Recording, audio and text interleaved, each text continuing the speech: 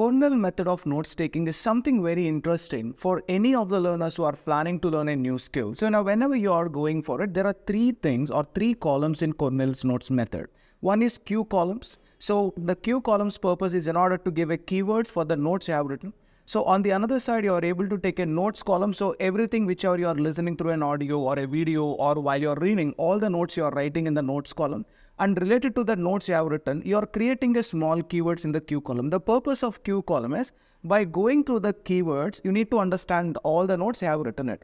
And in the last, you have a summary column. All the notes you have written, what you have understood, you are writing in a summary column. And within the notes column, while you are creating the summary and all that, if you got any questions, you are recording those questions so that you can go back and you can clarify with the trainers and you're sitting and you're thinking how these concepts can be implemented in a real time. So you're reviewing this particular notes in a week one or twice. So try to follow this technique that's going to help you.